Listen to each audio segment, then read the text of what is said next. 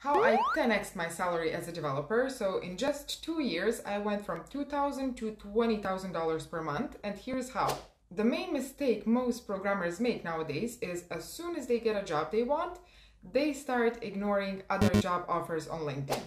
If you already have a job, you are in the perfect position to make what I like to call disrespectful offers.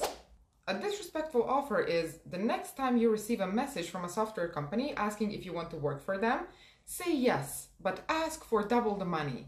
So if you currently work for 5,000, ask for 10. And if you work for 10, ask for 20,000. And it doesn't matter if you think that it's too much because you would be surprised at how many companies are willing to pay a lot more money than you think.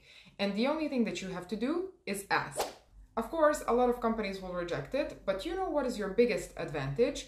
You are not desperate to accept any job because you already have one. So you need only one company that is going to pay as much as you ask. And that is definitely going to happen in two, three, four months.